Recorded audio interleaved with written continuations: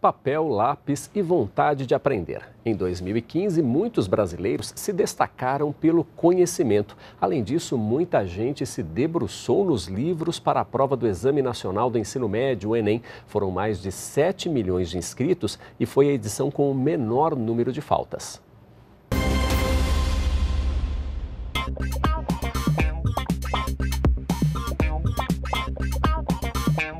Um ano de conquistas e mais acesso ao conhecimento para os estudantes do Brasil.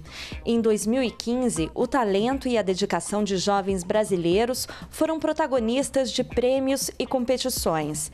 Em julho, 6.500 estudantes de escolas públicas dos ensinos fundamental e médio receberam medalhas na décima edição da Olimpíada Brasileira de Matemática das Escolas Públicas, a OBMEP.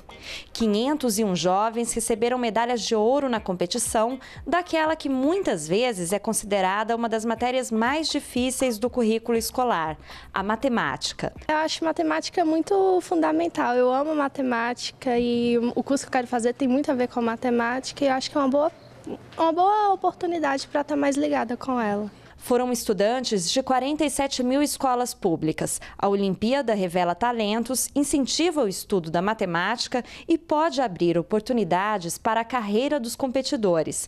Luiz Abreu foi uma dos quase 18 milhões de inscritos, um recorde da competição.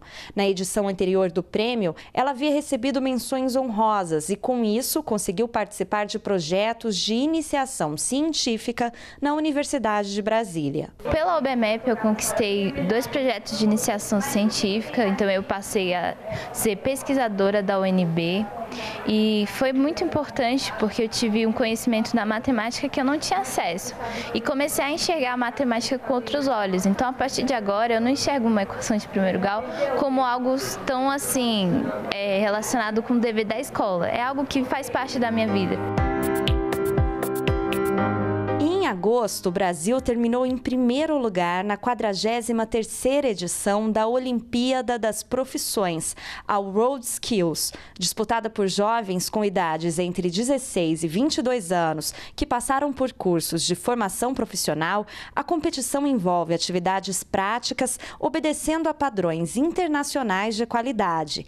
Tiago Blanco da Costa, da cidade de Bauru, em São Paulo, foi medalha de ouro na área de edificações formado pelo Programa Nacional de Acesso ao Ensino Técnico e Emprego, Pronatec, Tiago conta que ser beneficiário do programa Bolsa Família deu oportunidade para que ele se dedicasse ao estudo. Como minha mãe recebia esse auxílio, eu, podia somente estar estudando, me dedicando meu tempo integralmente ao estudo, e foi uma das coisas que me ajudou muito para poder chegar até aqui. Então, eu pretendo agora entrar numa faculdade, cursar engenharia civil concluir minha engenharia e abrir uma construtora para mim. Os brasileiros levaram 11 medalhas de ouro, 10 de prata e 6 de bronze. A equipe foi recebida pela presidenta Dilma Rousseff no Palácio do Planalto.